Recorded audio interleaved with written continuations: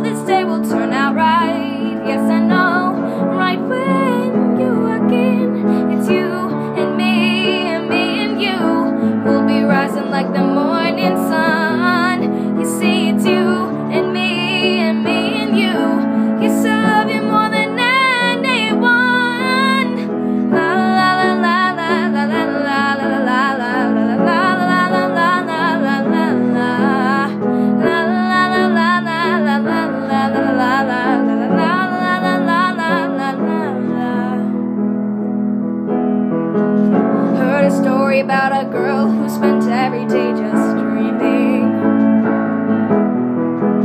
Dreaming about what life could be if she was happy, maybe gleaming.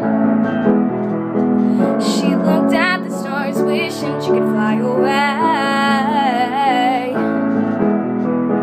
But I'm so happy that she's here, she made me who I am today.